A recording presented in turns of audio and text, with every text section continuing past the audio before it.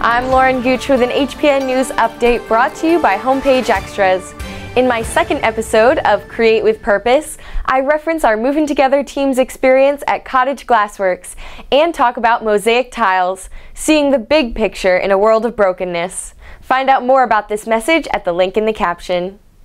Farmers to Families Fresh Food giveaway that was originally to be held at the Church of the New Covenant tomorrow is canceled.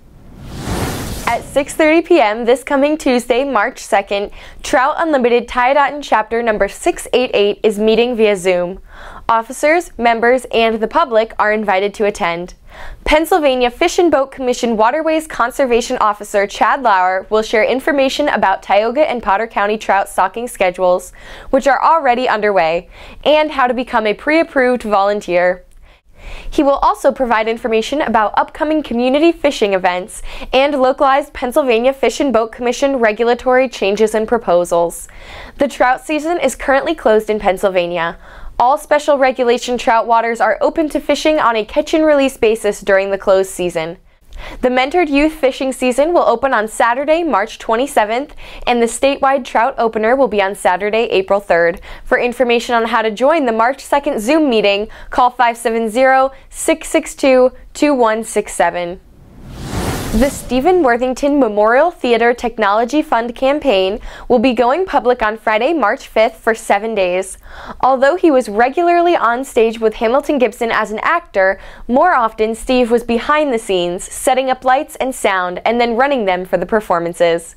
At the time of his death, Steve was involved in a major project for HG.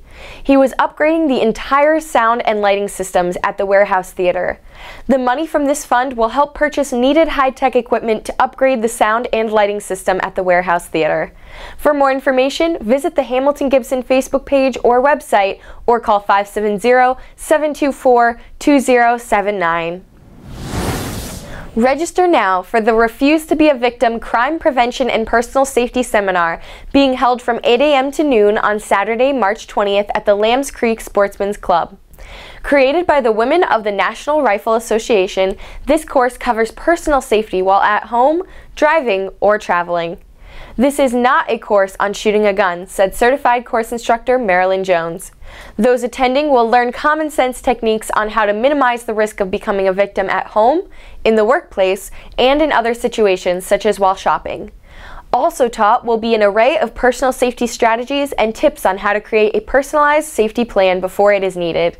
The fee is $20 to cover the cost of the book and classroom time.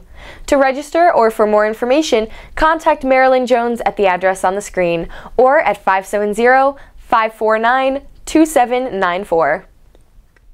Today's weather will be sunny with highs in the upper 30s and lows in the lower 30s. For HPN News, I'm Lauren Gooch. It's all right here on Homepage Extras.